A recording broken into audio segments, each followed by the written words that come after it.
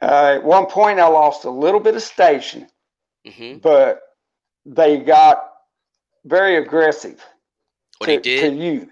They, they Mhm. wanted to bite on you quite a bit. Mm-hmm. They did. They did get very ill. That's the only real downfall that I have with the Sid family. Okay. The other downfall I had with the Albany family is they would get a little, I want to call it wacko. Some of them would come kind of out there, you know, they'd be very skittish and very, very scared. Some of them Right. would, Right. but you just stay away from that. And the others would be great. The others Mhm. would be fine. But they would get skittish on the red family and the black family would get ill. Gotcha. I- gotcha. So, so that's kind of the defect that you seen as doing that inbreeding. Yeah. And you, and you Yeah, said you yeah. lost a little bit of station, huh? little bit of station. Now, I lost more station on the red family than I did the, than I did the black family. They did come a lot shorter on the red family inbreeding. Mm.